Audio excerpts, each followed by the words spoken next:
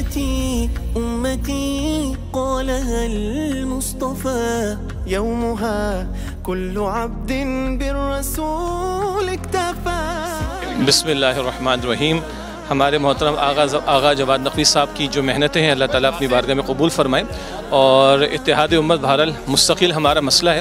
اور جو ہمارے مسلکی اور ضمنی قسم کے اختلافات ہیں اس کے مقابلے میں جو مغربی الغار اور ہمارے لوگوں کا ایمان جو اسٹیک پر آ گیا ہے، اس کو بچانا اور اللہ کے دین کو ترجیح دے کر اپنے مسالے کو نیچے رکھنا یہ وقت کی اہم ترین ضرورت ہے۔ قرآن کہتا ہے کہ اللہ کی کتاب کو تھامو اور تفرقے میں مبتلا نہ ہو۔ قرآن کو آگے کریں گے تو تفرقہ ختم ہوگا۔ اور قرآن کہتا ہے عقیم الدین ولا تفرقوفی دین کو قائم کرو، تفرقے میں مبتلا نہ ہو جاؤ۔ تو دین کو جب قائم کرنے کی جد و جہد میں لگیں گے، جو رسول اللہ علیہ السلام کا مشن تھا، تو تفرقہ ختم ہوگا۔ اختلافات علمی مجالس میں رکھیں۔ عوام کے سامنے متفق و علیہ مشترک باتیں رکھیں۔ سود کا نظام ہے، بے حیائی کا طوفان ہے۔ ٹرانسجنڈر ایکس کے ذریعے ہماری تباہی آ رہی ہے نسلوں کی۔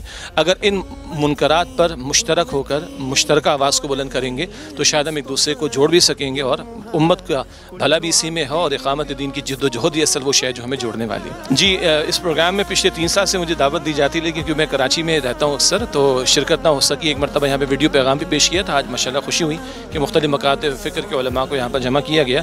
اب اللہ ہمیں ایک توفیق عطا فرمائے کہ ہم واقعات اتحاد کی صرف بات نہ کریں، بلکہ عمل اس کا مظاہرہ بھی کریں۔ جزاک اللہ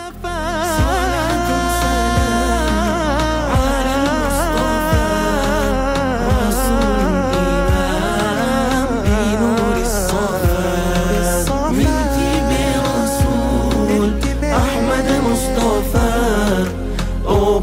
نكنش إمام لوب واتباع